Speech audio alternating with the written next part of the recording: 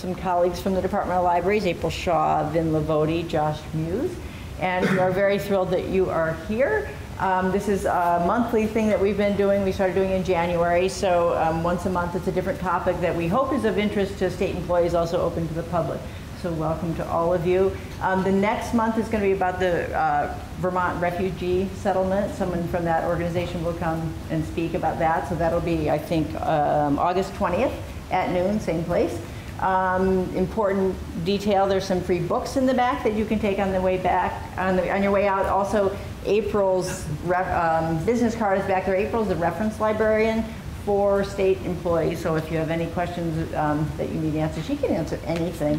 You can also get a state library card if you don't already have one with that. You can get access to online databases, online classes, digital books. Um, so a good thing to have interlibrary loans. So anything you need for work or that you, you need for any other reason as well. Um, so today's speaker, we're so thrilled to have Professor Paul Searls here. He's a professor at Northern Vermont University. He has a new book out, which you can buy if you'd like afterwards at the VHS, the Vermont History Society store, which is right next door.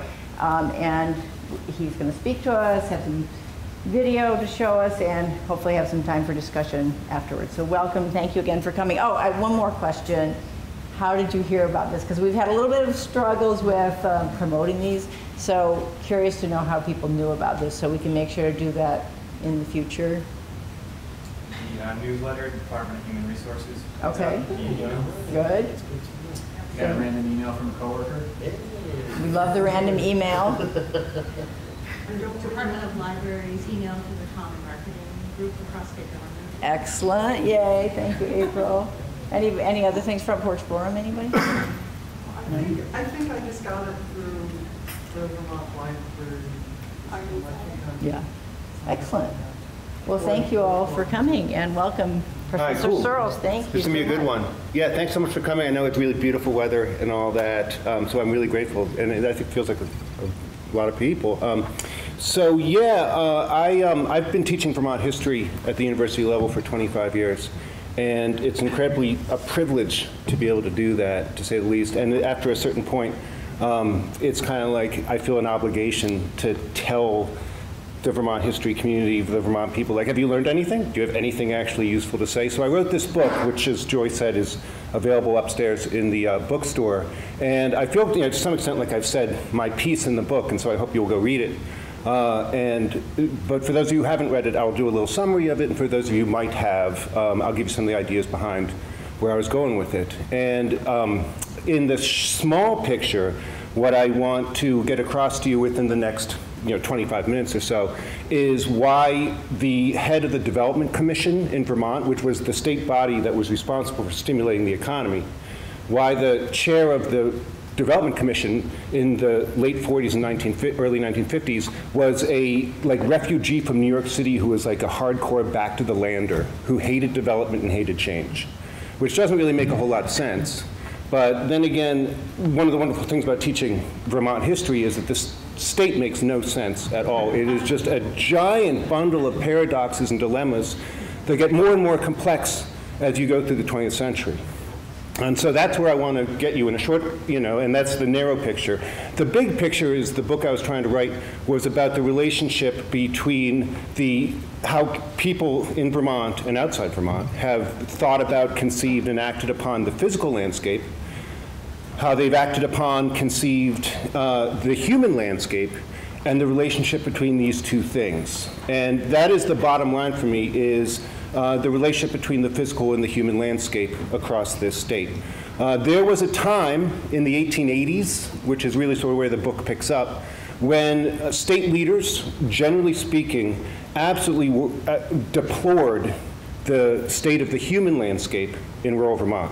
The people who lived in rural towns were the people left behind when all the ambitious uh, people had left, all the energetic people had left and moved out to the Midwest or to Boston or wherever.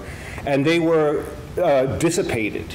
They were Yankees who had married their cousins, or even worse, they were French Canadians. And this was a real problem. And the problem went from the human landscape, a group of people who liked, had the terrible flaw of liking the way things already were. There's a reason why they chose to stay. Uh, and this had an impact on the physical landscape. And people talked, state leaders, so to speak, talked about the physical landscape stemming from the human landscape as being a place that was stagnant, that was dull, that was a, a uh, signs of failure. And so in 1888, this guy who owned a knitting mill that made women's underwear in Bennington, whose name was Alonzo Valentine, was appointed to be the first commissioner of agriculture. And it was this new position. And he was just supposed to gather statistical evidence and make recommendations about what can we do in order to save rural Vermont since it's in such terrible decline and stagnation. And in, with no relationship to the actual mandate he was given, he decided what the solution for rural Vermont was, is to import Swedes. And this was his big program. Now, when I wrote my first book, for about a year, the newspapers are full of talk about Alonzo Valentine's Swedes program. And he actually did um, hire a uh, guy he knew from Nebraska who was a Swede to go back to Sweden, to this very poor rural part of Sweden, and bring back Swedes. And he did. In April of 1890, the guy arrived with about 55 Swedes. Uh, it's the representatives of about 20 families. And he split them up, and he put, there's a colony, as he put it, in Wilmington, one in Berkshire, and then he dropped his third colony down in a town called Landgrove. Uh, because there was a charcoal, there was a, a timber operation where they could get jobs. Do people, has anyone ever here been to Landgrove? If this, It's a magical place. I didn't really know much about it uh, until I started doing this book. But so he dropped them down in, in Landgrove, and then the program was a, considered to be a complete failure, and everyone, the, the commissionership was abandoned in the fall of 1890, and everyone in the state agreed never to talk about it again. And the Swedes persisted. Uh, there was five families, and they had numerous children, so that by the census of 1900, there were 32 Swedes in Landgrove, counting the parents and the children. And they intermarried with French Canadians and worked working class jobs and got up on with their lives. In the meantime, Valentine, when he had been doing this program, he'd gotten together the first ever comprehensive list of Vermont farms for sale, supposedly to settle Swedes on them. But what people discovered was that Swedes didn't want these abandoned farms. The people who wanted them were people who wanted cheap summer homes.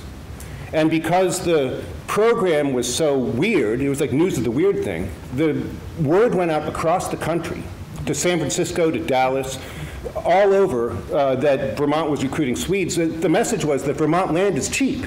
You can have all the Vermont, you can have a Vermont farm really cheap. They're practically giving them away to Swedes.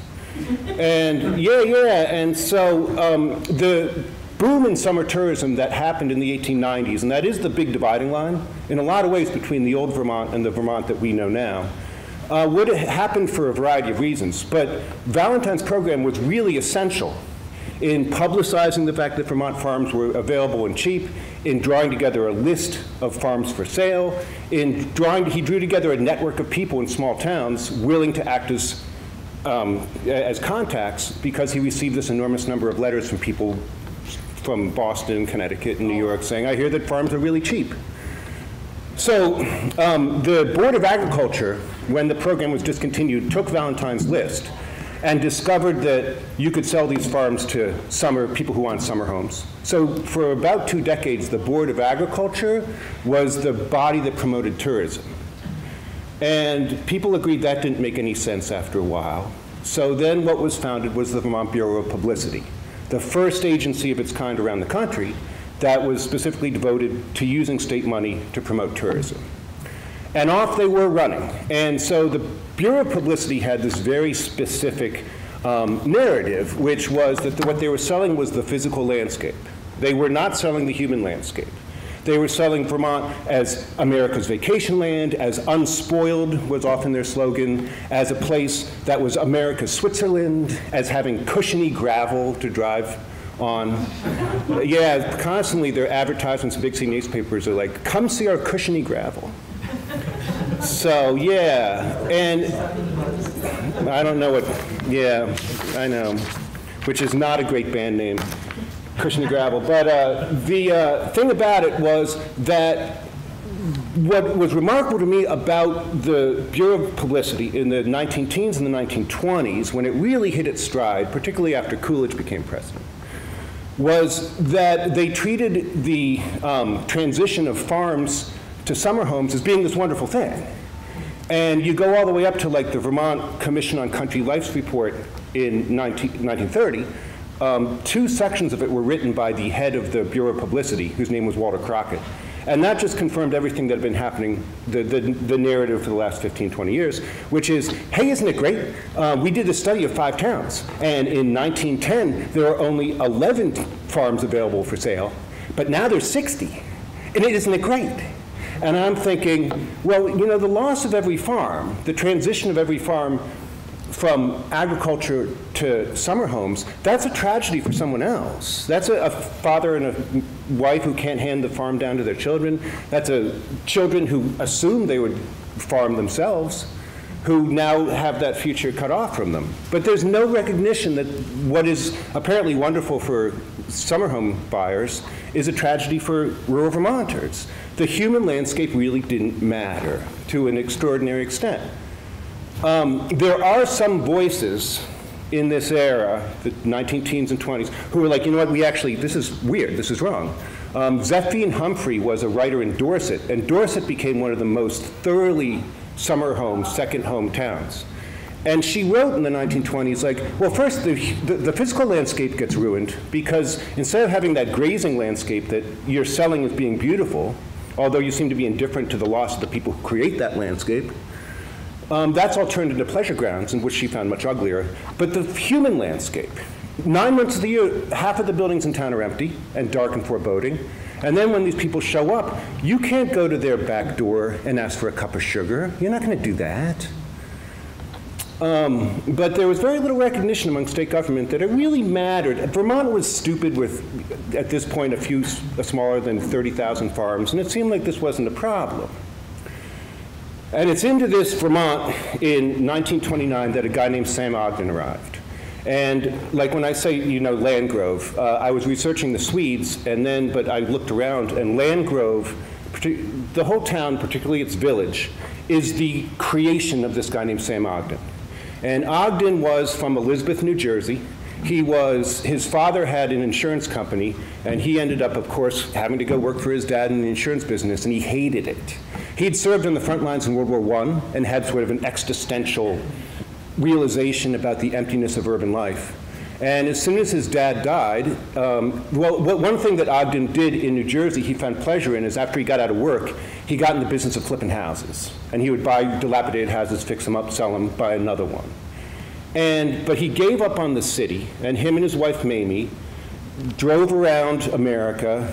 He'd summered in Peru, which is right next to Landgrove. And he went into Landgrove Village to buy cheese. And except for one house, there was eight houses and two barns in Landgrove Village. All the structures except the store were empty, were abandoned. So he scraped together $4,000 and he bought all of the structures. He bought all of the, and he wanted to turn it specifically into a summer colony. And what was amazing to him about it was the human landscape. He really, and he's among those sort of back to the land people. If you know Scott Nearing, um, Sam Ogden and Scott Nearing were very close, although politically they were opposites. And there's a number of these kinds of people, refugees of the Depression. Uh, what Sam Ogden said when he got there is the thing that endeared Vermont to Mamie and me was the character of her citizens. These were unique human beings, each with his own special stamp, his peculiarities, his crotchets, and his independent individualism. These were real people, not stereotypes, some more peculiar than others, but thank the good Lord, all of them peculiar. Landgrove was poor. Landgrove had a reputation for being the people on the wrong side of the tracks. Um, but he thought that they were the real kind of people who stood in contrast to the shallow plastic people he knew in New York City. And so he, um, the, the lesson that he took from them that he wanted to already learn was that you can have in a small town a self-directed life. If you want food, you grow it. If you want to have tools, you start a forge and you make your own tools. If you want to have a good school, you have a good, you, you get involved and you build yourself a good school. And most of all, if you want to get involved in civic life, if you want to make your community a better place, then you become involved in the, the, the town's politics. Which he did. He became tax collector and overseer of the poor and a number of selectmen right away. And this was the magical thing about small towns, is that you can actually be in control of the forces that shape your own life. And that was magical for him. Uh, he got himself elected to the legislature in 1935 because he wanted to stop the Green Mountain Parkway, which was going to go straight through Peru and destroy Landgrove. And once he did that, he became, just enmeshed, he became the chairman of the Committee on Conservation and Development. He became engaged in uh, conservation efforts. He was a big conservationist. He founded the, he submitted the legislation that founded the Water Resources Board. He took up the fight in the late 1930s against billboards and fought a 30-year battle to fight billboards. And it wasn't, he, what he thought he was doing was trying to save the physical landscape before it became despoiled like everywhere else. But it's not really the case. What he was doing was he was trying to shape the landscape to make it look like what he thought it should look like. In the meantime, his summer colony was a big success. He knew all these artists. He was a musician. He was one of the founders of the Vermont Symphony Orchestra. Uh, I mean, he's everywhere in that era in Vermont. And he, he attracted to Landgrove people buying second homes, these people who are architects and musicians and puppeteers and painters. So that Landgrove, by the mid 1930s, late 1930s, was this amazing community of um, artists. And when all the village houses were taken up, and there were still more people from New Jersey, artists, Nathan Milstein, um, Vladimir Horowitz, all these musicians would come there in the summer. Well, of course, when the village was full up, well, then he started buying the houses of people like the Swedes, who had, the parents had mostly stayed, but the kids were leaving. Um, because what were they going to do? The old, like, foundation of the state's economy was really three things. Was dairy farms, was extractive industries, particularly in Landgrove, you're talking about lumber, but also quarrying, things like that, and manufacturing, small-scale manufacturing. And it was clear by the 1930s, all three of these things are in decline. And it was clear to people like the Vermont Planning Board that we're going to have to find something to replace these things. Um, and meanwhile, and what, what the planning board decided, I'll just tell you in 1936 with its graphic survey, was recreation, tourism. You look in dairy, it's the second biggest industry in the state. Dairying's the biggest, but dairying has a dark future. Extractive industries have a dark future. Manufacturing, we can't compete with South Carolina. The only business that has the opportunity to expand, that looks rosy, like it has a good future, is tourism. And so the state increasingly threw itself in that direction. And Landgrove was becoming this well-known artist haven. And the thing about it was that when you start to talk about the paradoxes involved in Vermont, here's one for you that Sam ran across, which is that he loved the people who were there when he arrived. He loved the people that he brought there, who were these wonderful artists who were really stimulating to him. And he wanted the town to stay, stay the same size. And something had to give. And what gave was the original human landscape that he had so much admiration for. So um, he then was appointed in 1939 to the Vermont um, Department of the Department of Conservation and Development, which became the Development Commission. And then after World War II, he became the head of that. And he was very clear about what he thought um, Vermont should be, because coalescing in his mind and in the mind of other people around him was this concept of the Vermont way of life. And the Vermont way of life wasn't just like in the 1920s about the physical landscape being beautiful. It was about a physical landscape, but about a human landscape, about a kind of community, a community where you can know everyone, where you can be interdependent, where your voice will really matter, where small scale democracy really works. The Vermont way of life, which stood in contrast to modernization everywhere else. And so when he became the head of the Development Commission, he very specifically tried to make it so that any development that occurred would be consistent with his and other people's vision of the Vermont way of life, which ruled some kinds of industries and jobs out. Skiing, he thought, was very consistent with the Vermont way of life. Um, and so he was heavily involved in the early ski industry. Uh, his fingerprints are all over it. Uh, other big industries that despoiled the landscape, he was absolutely hard against. And in 1948, this guy, Earle Newton, who was the head of the Vermont Historical Society and was a good friend of Sam's, like everyone else, uh, he wrote in this book um, Sam Ogden is no booster. He served first as a member of the Vermont Development Commission and in 1947 became its chairman, yet he has no vast plans to lure great industries into the state, nor to promote a great wave of indiscriminate tourist travel. He represents the wise synthesis of the native and the newcomer in his desire to see the state develop along progressive lines without a sacrifice of its individuality and its more, more or less unique way of life. And so you might ask, what kind of a development commissioner is like, no, we don't want any big industries. Sorry, go to New Hampshire. Uh, but that's what he wanted. And it is clear that the kinds of jobs that he directed the state away from are the kinds of jobs that the descendants of the Swedes, who are in their second and their third generation now, would have had. And what happened to the Swedes in Landgrove is they gravitated to the cities. They gravitated to Brattleboro, White River Junction, Rutland, Arlington, and they worked truck drivers, sign painters. Lumber yards was a big one. And, and a place like Landgrove had no space for them anymore. But the extent to which Vermonters were still wrestling with, well, the physical landscape's one thing, but the human landscape, that really matters. That's what community is all about, was complicated. And what they did recognize, what, what is something that Earle Newton said also in that book, which is something that Sam Ogden would have agreed with. He said, Newton wrote, Life in rural communities in Vermont offers the newcomer and his family opportunities for participation in the affairs of the community to an extent not possible elsewhere. In the cities, interest in community affairs has practically disappeared. The growth of large centers of population implacably absorbing surrounding towns and villages, the gathering together of rootless thousands and impersonal and unnatural apartment houses have contrived to bring about the complete disappearance of community spirit in cities. But this isn't so in the country. In the country, the individual finds himself called upon to participate in the affairs of the community in which he lives.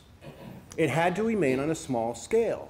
And the Development Commission and a lot of state leaders recognized that the thing by the 1950s, by the late 40s, is Vermont has to stay on a small scale. And if there's a human cost to the landscape, it's worth it. And you know, what they have a hard time wrapping their brain around is the definition of community, which historians have been over many times. Community is not physical. It's about shared relationships. It's about shared experiences. Community accrues over a long period of time. It's like a coral reef, you know, and, and community exists not in what you can see, but what you can't see. And if you replace, and always the Bureau of Publicity, the Development Commission, wanted to keep things dignified. They wanted to attract a smaller number of elite people. And if you're constantly replacing the people who constitute those shared experiences, then you're losing the very community that you're selling. And this is a hard thing for people back in the 50s to wrap their brain around.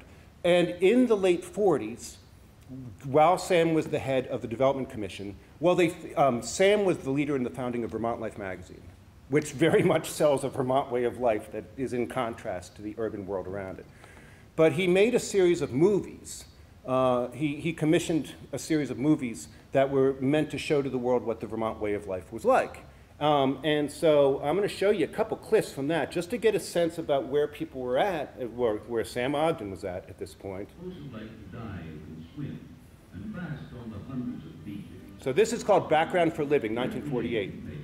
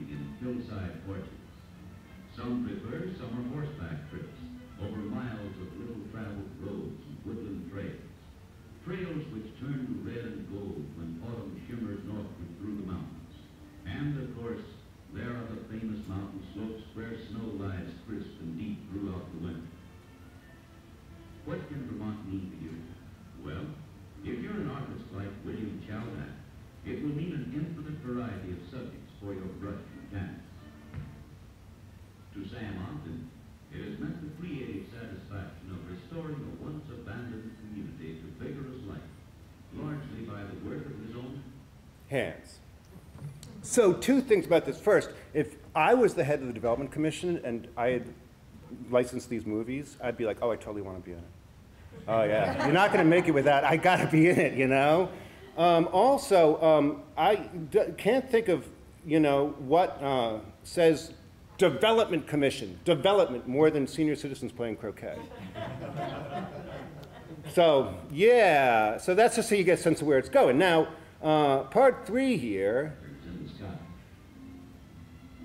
small town democracy. You, has to me, a place to visit, a place to work, and a place to live. It will mean the church on the common, or perhaps on the hill.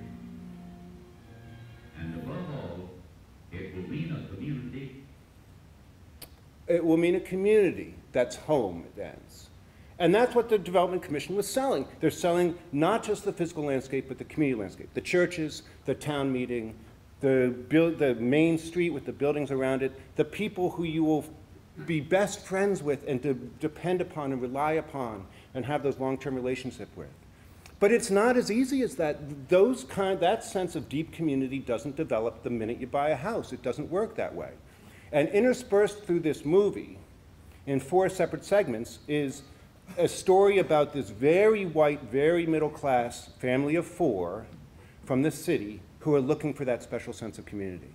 And they come up to Vermont and they're looking at houses, and this real estate agent's showing them around. And all the while, the real estate agent's like, Well, I'm not going to sell you a house now because I don't know if you're the right kind of people. And he interviews them and browbeats them and humiliates them and on, and on and on until at the end it comes to a very happy conclusion. And this is the very end of the movie. Um, and it goes like this. which is home. That's the real estate agent. You know, sometimes folks call me crotchety and stubborn. Yes, they do. The way I feel about it, this isn't a big town, and we don't have room for those that don't fit in. But you folks do. And I want you to know you're Yeah. gonna have that house if I have to sell it. Yeah, so I mean, now it's it. The first thing you think is, what is this, Alabama? Like, in what world does the real estate agent have the right to choose who gets to live in town or not? Is that really how it worked? And, and clearly, the message on the part of the Development Commission is these people don't fit in. If you're black, if you're gay, if you're Catholic, uh, I don't know. Depends. If you have only two kids, you're probably okay. If you have six, I mean, really, clearly, what they're doing, as they had been doing for the previous, going back to the Swede program, was trying to manipulate the human landscape so it mirrored what they thought it should be like, and, in some way be consistent with the physical landscape um, that had been so care, carefully cultivated all this time. There's one more point to this movie um, that really um, does it for me, which is, I think, a really salient point. And that kid and and that girl, uh, are they going to stay after they're 18? What are the chances they're going to stay in that town when they, after, after they're college age? And I live in Danville, and I have no problem. It would be pretty hypocritical of me to have, you know, say that heterosexual, uh, you know, white families of four should not occupy these towns. Uh, the problem is when there's too many, when it becomes the critical mass. Uh, the, um, there, in, in like a place like Danville, it's really clear who are the kids. You can tell in kindergarten who are the kids who are going to stay, who are being raised to stay, and who are the kids being raised to leave. And I mean, if my kids want to live in Danville, it's fine. It's not going to happen, though. I mean, it- which is fine. But um, there needs to be some sort of recognition that you can't replace the human landscape and not lose that sense of community that's so important. And Sam Ogden had gotten a big fight with the governor and resigned from the Development Commission and went on to serve on this board and that board and soil advisory boards, and he was heavily involved in conservation. He founded, was one of the founders, and the, was the first chair of the Vermont Natural Resources Council. He was Governor Hoff's, the chairman of the Committee on Scenery and Preservation. I mean, he was intimately involved through the 1960s in efforts to conserve the state. He finally got his billboard law. He was thrilled about that. But what he really wanted was a statewide zoning law. because he, he understood, and he'd been a bureaucrat and had been building bureaucratic structures for a long time now, that what happens in one town affects a region, what happens in a region affects the state. And he understood that, but he also loved the small town and small town democracy. And so when reapportionment happened in 1965, he was horrified. He thought it was the worst thing that could happen to the state. And after reapportionment, it was finally possible for him to get that statewide zoning law, which would have been impossible while people from small towns dominated the legislature. And it's, that's the position that Vermonters found themselves in by the 1950s and 60s and after, which is you're pulled in lots of different directions. There's a lot of paradoxes involved in Vermont by that point. And the central one, if I can state it succinctly, is that making Vermont look natural took a lot of work. And that's what people discovered. Making Vermont look natural took a lot of work. And if you want to have a traditional landscape, you need to have a dynamic community. If you want to have Vermont look traditional, you need to think in unconventional ways. If you want to have, if you want to save small town democracy, you need to build the infrastructure of bureaucracies, bureaucracies and management and zoning and regulation that makes Vermont theoretically continue to be the same state and have Vermonters be in control of its future.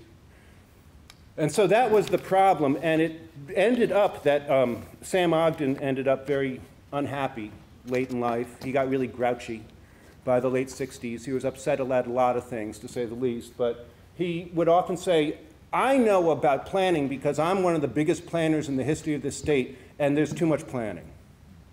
And we need to have a lot less planning because planning destroys democracy, even though we need planning.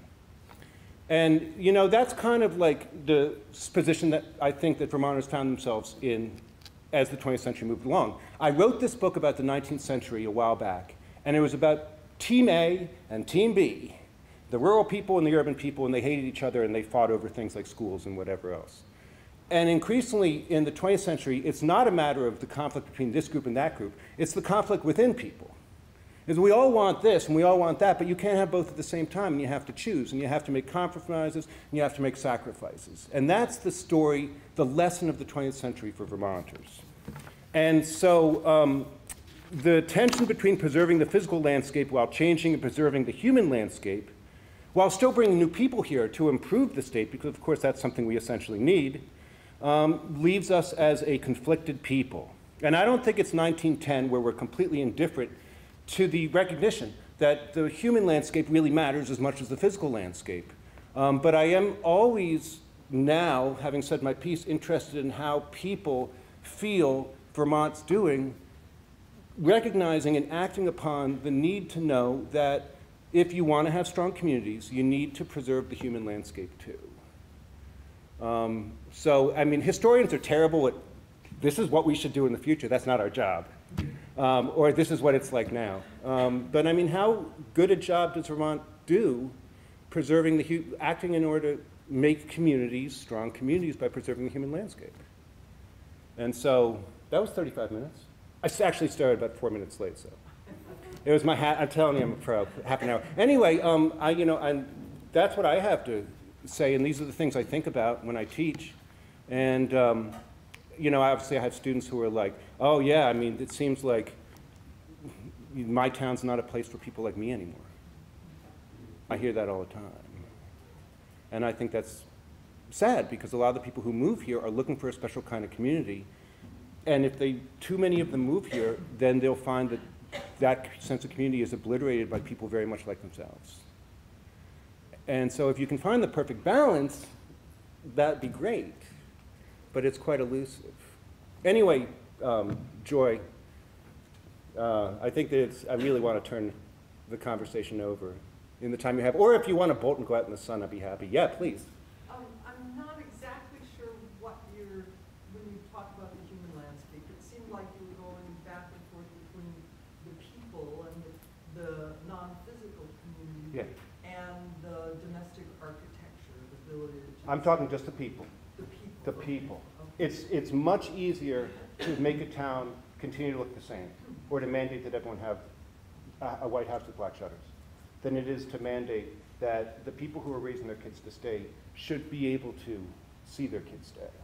Okay, and that last one of the last comments you made about your students feel like the town they grew up in isn't there where they can live anymore. What, can you say more about that? Is it too rich? or- Well, too rich is often a problem.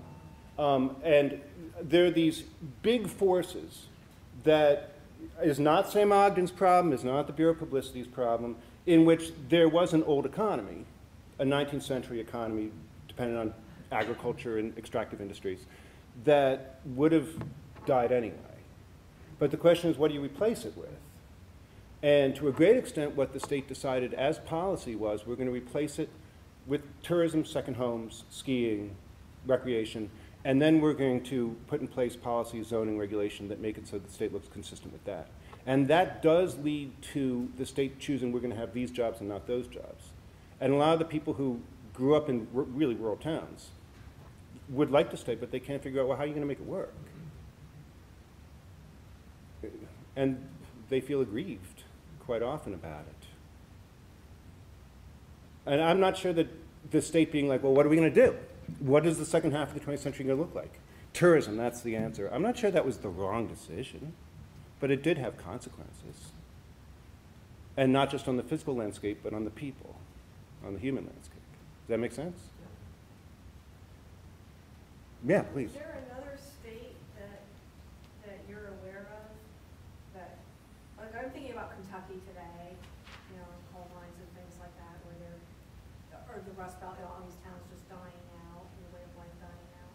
Are there other states that went through a similar process to Vermont during that same time frame that, that you would compare and contrast to, that did it better or worse? Okay, well, I'm a Vermont historian, you know. Yeah, I know, And so, um, I mean, I, uh, New Hampshire. I think that Maine is a better example than New Hampshire. And one of the things that seems to have been the development in Maine, from my reading of it, is that there's 95, and on the coast side of 95, it's one culture, and on the interior, it's a completely different one. And the people in the interior feel similarly aggrieved about, well, how are we going to make this work? What are the resources we have? How can our kids stay? Um, So, I mean, speaking regionally, I think that um, is probably a similar in some ways, although Vermont seems to be more of a statewide comprehensive thing. I mean, I- and I'd be happy to hear about Kentucky. I mean, what, how is Kentucky facing these problems? Is that the infrastructure of President the, promised to keep the coal mines, so I'm not really sure how they're facing the problem. yeah, So- Well, I'm I'm Yeah. actually from Kentucky, uh-huh. and, uh, yeah, coal mining is dead, so. I don't know what they're gonna replace it with. People are leaving. I think there's a similar feeling to this, but you're not gonna get tourism up in Appalachia. So, anyway, a little off topic. Well, yeah, I mean, Vermont, what, particularly Sam Ogden, what he faced in the 60s, when he was in his late 60s, early 70s, was the interstates. And so you go from Vermont being this rural backwater, in which you're facing one set of challenges to keep Vermont looking the same, um, to the state being within a day's drive of 100 million people. And he called the highways death traps and said there's no reason we don't need them, they're all this, you know. But there was this recognition, the Hoff administration is such a crucial turning point in the state's history where it was like, all right, we know this is coming. We know that we have lost the old economy, we've got the highways coming, we've got this new economy. Something needs to be done now. And Governor Davis, of course, shared that concern and acted upon it. You know, and so if you look around the state now, the way that we think and talk and act about it, I mean, really the 60s up through the early 70s, that's the crucial point when it was like, all right, we can be this and we can that. We're going to do that. To which there are consequences. Yeah. Please. A lot of this talk sort of focused on the homogeneity, or at least the kind of replication of that. Is there anything, when we talk about the sixties and seventies, did the countercultural movements, which sort of later became associated with sort of the fabric of the state, have any economic or developmental impact at this time, or does that predate the book or the focus of the book? Uh, so the book ends in the mid 70s. Um, and, um, well, the biggest impact was that Vermont exceeded the nation's population growth rate between 1800 and 1810. And then it did not exceed the nation's population growth rate on average again until the 1970s. So that's a long period of stagnation, you know, 180 years, 170 years of stagnation or whatever. And so that did reinforce for people the idea that um, something needs to be done, or else we're going to get run over like a freight train, and the state's going to end up being something which we haven't been carefully carving it to be for the last 70 or 80 years. I mean, that was the big impact. People came not just because they were hippies, but they came for IBM, and the impact on Chittenden County, obviously, was dramatic in that era. So generally speaking, I mean, that was a period where people were like, well, how are we going to control this growth? How are we going to shape it? So that it's consistent with the Vermont way of life. Um, and I think that probably everyone here knows as well as I do that the long-term impact of that cohort of people who moved here in the 60s and 70s is that they're reaching retirement age. And, you know, people between 30 and 60 produce all of the wealth, and then children and senior citizens, you know, eat it up, sop it up. And so we don't, that cohort moving into retirement age, obviously, as probably more of you know than I do, is um, some people think is a ticking time bomb. That's a long-term impact. Yeah.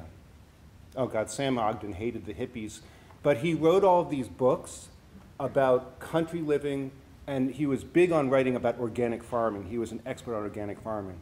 And in the early 70s, he would be out there in his field, and all these hippies would show up, be like, dude, you're my guru, teach me. He was like a really conservative guy who hated hippies. Uh, yeah, his, his um, son says he was unfailingly polite and helpful, even though he was gritting his teeth the whole time. But yeah. But as a friend of Scott Nearing, Yeah, he esteemed Scott Nearing more highly than anyone else on this earth, even though they were politically at opposite ends of the scale. They were complete political opposites. But they got along. Uh, but I mean, they had to some extent different goals. Like Sam Ogden was like, we need ski resorts, we need ski resorts, and he was a big promoter of Stratton. And of course, it was the development of Stratton that drove Scott to um, Maine. So to eye on that.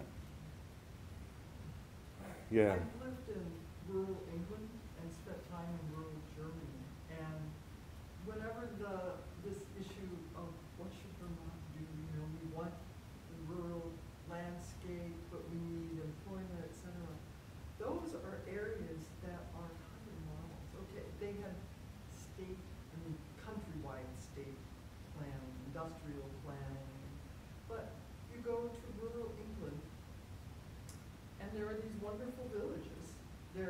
Longer affordable by the average person, but not all that long ago. I lived there thirty years ago and they were affordable then. Um, but now it's all section homes. Rich actors from London buy these old. In the. Cotswolds. Yeah, this was closer to Oxford, but, um, yeah. um, but they have transportation. They have rail. So people can live in a village and work in Oxford and London and Reading. Mhm. And the same in Germany. You know, there, Munich is a big employment center, obviously, it's a big city. But people commute by rail. And so the current conversation about reestablishing some rail in Vermont, I think it could make a big difference.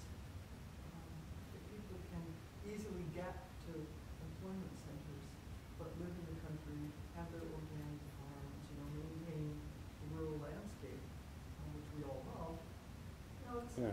other, the rest of the world has done it, and other parts of the world have done it. Yeah, and, and, I mean, it's been pointed out to me, people point to like Switzerland as an example, where they made a big plan, well, what we're gonna do is we're gonna save the small farms, and we're gonna, each individual place has its own little cheese, and it's a craft economy, and we're gonna, that's where Vermont should go. So the farm-to-table movement and the farmers markets and all that. I'm skeptical, just on the, I mean, I think those things are wonderful, but I'm a middle-class guy, that that doesn't deepen the class divide, because those things cost so much more at the farmer's market than they do on a grocery store shelf. But that's why Vermont's so messed up. What's that? Have you read the article in the recent Vermont history on the eugenics? Yes, Yeah. the that's- 1912. Yeah, Hmm. that's some of the stuff you're talking about, the decline of the farms, even though it was really the soil and the land.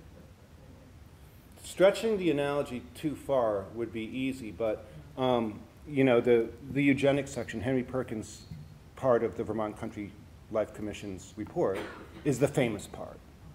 Uh, you know, which I really didn't need to deal with in the book. It's been dealt with. Nancy Gallagher's book deals with it beautifully. Um, but what really struck me was the extent to which it seemed like the Bureau of Publicity, the publicity service by that point, they were doing the work of the eugenics movement, not by sterilizing people, but by making it so that they couldn't, their town wasn't fit for them. They had to go somewhere else. And this was the story of the Swedes, who, you know, by the time you get to the third, fourth generation, Brattleboro was a big destination. I often wonder how much, you know, having grown up together in Landgrove and Londonderry, they recognize each other on the streets. You know? Um, yeah. I mean, I don't know if it's done right, maybe it won't deepen the class divide, but that small time economy now seems to be something very different from what it was like in the 1880s. Yeah. Um, Thank you for your presentation. It's been very interesting, and I appreciate the time for the engagement here now. Um, Something that really struck me about what you said in the difference between, or the division between the um, physical and the human uh, landscapes, and talking about the people who stayed and continue to be failures because they didn't migrate to the urban centers or out west for the opportunities out there, but then the people who were brought in. I was just wondering, um, I deal with a lot of economic data, and you see a lot of economic data presented in terms of rural, uh, urban versus rural, um, but, and touting the urban successes. But when you redefine rural consistently over time, you actually see that these rural areas are now just defined as urban because they've grown up so much, right? So that if you used to be rural, and now you've had a population swell, they got moved in the urban growth. So I was just wondering if you could comment about um, your thoughts on today and the similarities you see between those who potentially stay in Vermont and kind of uh, have to face similar labels as like, oh, why didn't you go to Boston or New York City for the opportunities, um, and the rural nature and the opportunities going forward? And you're asking me about today. Okay. I mean, historians are always kind of like, your thoughts. But my thoughts, well, so yeah, I mean, it's kind of like if you want to have a model, like I was saying about my first book, right? And it was like there's the people on the hill farms, and there's people in Burlington and Rutland and Montpelier, and they disliked each other. And then somewhere around the 1940s or 50s, the people in the countryside moved to the population centers, and the people in the population centers moved to the countryside. And they sort of passed each other in 1951 or something like that, you know, on their way to replacing it, living in the opposite places. And so, you know, um, I think that, you know, to a great extent, what you're talking about is how do you provide working class jobs for people in places like White River Junction and, and Brattleboro and, you know, things like that. Um, I'm not, does that, I don't know, if- I mean, you know, your question was about going forward. Like, I was just thinking more about the similarities you see today about community have certain populations that are staying, the ones that are leaving, and the ones that are coming in, so the balance of in-migration, out-migration, and how community can, you know, continue in Vermont. Well, I, I think to a much greater extent, it's not like the people who stay, there's not a public narrative that the people who are intelligent, college graduates, educated in a formal sense or whatever, if they stay, there's something wrong with them. That's, which used to be the case.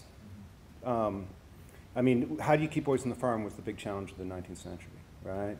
And that was felt by both the urban people and the rural people, and they've had very different solutions for how you accomplish that. Um, but to some extent, you know, metaphorically, how do you keep the kids on the farm remains a really big challenge. And uh, I mean, I don't have, there's a much better educated people on this issue than, than me. But I mean, I think it is, we all know there's a lot of kids who would love to stay in Vermont but can't. Um, Yeah. I'm, I'm one of those kids that grew up in Vermont and left and, and came back, and, know, maybe it's heresy to say it, but I feel like sometimes we worry too much about that, about keeping the kids on the farm. You know, that there's this kind of, it strikes me, this pervasive, um, valuing of Vermonters by chance as opposed to Vermonters by choice. You know, and I think if, if you all, you know, if you put us all in a room and force us to say, well, what are the qualities that makes a Vermonter other than just being born here or living here, you could come up with those qualities. And, you know, it strikes me that, um, and a lot of it is about what you talked about today, like the relationship to the, to the working landscape and things like that and the valuing of the environment and, you know, different ideas like that. And I feel like our economic development strategies that focus on, um, really just ensuring that people, um, you know, that the boys stay on the farm. as opposed to attracting the type of workforce or folks to live in Vermont that have a common sense of purpose about what it means to be a Vermonter by choice, I think um, more important.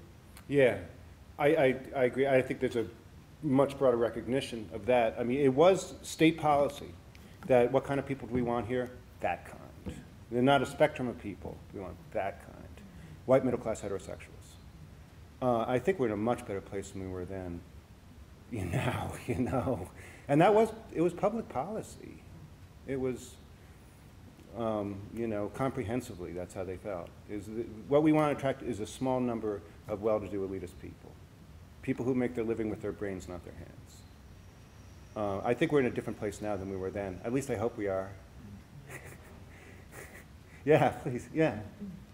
So, the question of scale seems to really be the, the thrust as much as cultural appropriation. I feel like the scale is where cultural appropriation becomes possible when the community gets to a certain size. And It's really exciting to see so many people from the Department of Libraries here because as a small town librarian, what we're facing is that scale. What we love about the scale is the intimacy and the way that the social rules are sort of carved around the relationships that people have with each other.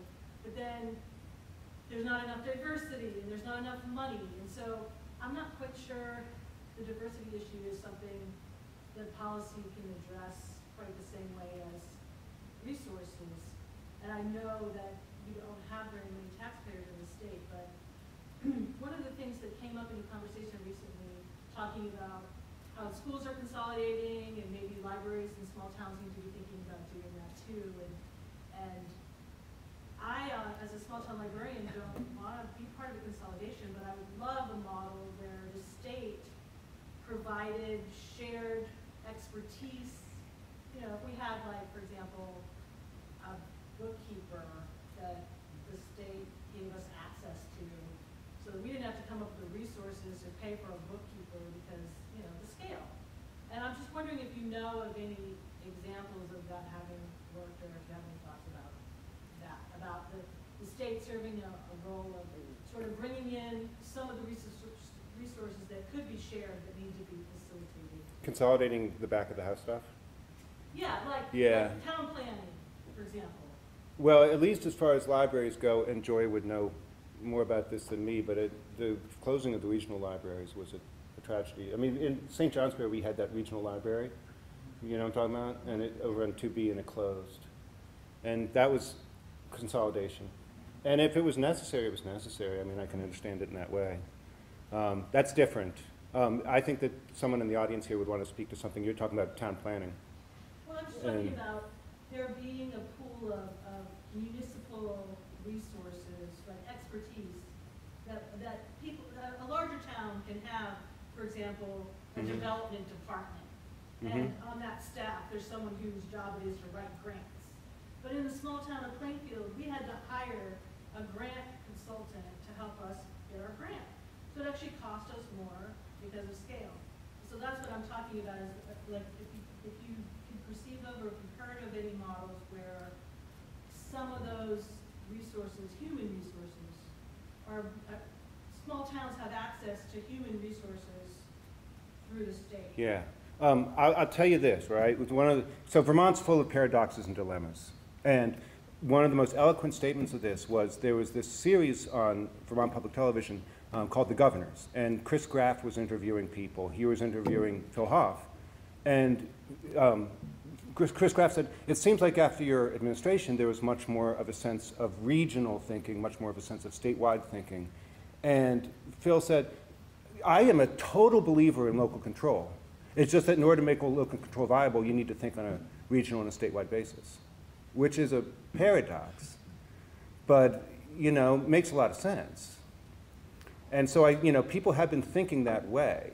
In order to make communities independent and viable and decision-making on a local scale, you need to have big structures in order to serve as the foundation for them. Like county government, for example? Yeah. Oh, Piercy, sorry.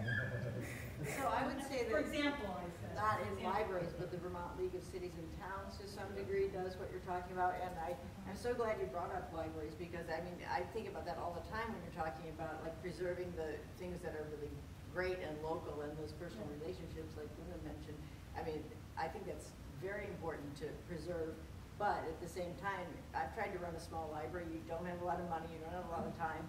Most of the people are not, don't have the skills, that- uh, not most of the people, but there are some, you know, people don't necessarily have the skills that they need or the time to use the skills.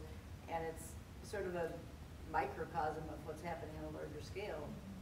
That, that desire to preserve the things that are great about a small town library versus the struggles of it and the unsustainability of many parts of it. So, yeah, we're thinking about that all the time. It's, it's like, you know, I- over the course of the 20th century, like I say about the conflicts within us, I think that there is, to a great extent, Vermonters, generally speaking, all want the same thing, um, but they can't decide how to get there, and they can't agree what to sacrifice, you know, because sacrifices do need to be made. They've been being made for a long time.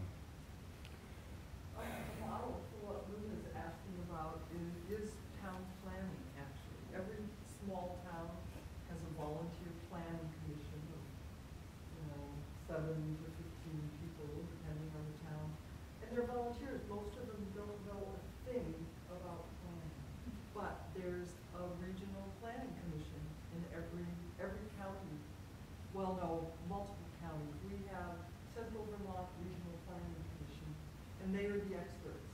So our town planning commission, who don't know anything about planning, most of them, we can go to the regional planning commission for all that advice. And they, they are there for that specifically, so it seems like the libraries could do that, something. Well, they do some things. Yeah, I, I mean, that- that is, there is a lot of resource sharing and we're always working toward more and we are, like, four of us of the five that are here from the department, our title is consultant. And So the idea is that, you know, that, that's one of the models that we're working toward, but, yeah, definitely. more. You want to say? Yeah, I'm glad you brought up the regional libraries. Um, The decision-making behind creating the regional library system is so Vermont. It is uh, to address the problem of local tiny libraries, in many cases not being able to provide the resources that the state felt was necessary. But instead of doing what Linda mentioned, or some other plan of consolidating, building a a countywide system or something like that, the state created those regional libraries, which actually held back the development of the small libraries that they were needing. We'll talk about it sometime. Actually, there's maybe a book there. that would do that. Sure. Okay, I think people are going back to their, their jobs. There was one more. Their day job. Oh, please, yeah. Oh, I just wanted to, um, uh, point out the, um, interesting point that you made about the Swede program. Yeah. It reminded me of a recent state program, the State Estate Program, that, Oh, yeah. um, actually affects relatively few individuals, but, um, but the notoriety and the, um, national, um, media attention that was given, um, sort of echoes what you described with the Swede Yeah. Was it $10,000? Was that the number? Yeah, I- yeah, I know. Yeah, I wrote an article for Vermont, uh, for, yeah, Vermont Magazine, that thing, and with the Swedes, and I used that as my entree to it. It's ten thousand dollar, yeah, it's a ten thousand dollar grant. Um, it, I mean, is that as sinister as the idea that there's too many French Canadians and Irish people, so we need to replace them with Protestants? I mean, I don't think so, it's like too many old people, yeah, is what we, yeah. But I guess we are still sort of engineering the human landscape. yeah. Hmm. Okay, Well, thank you, everybody, for coming. thank you. Thank you.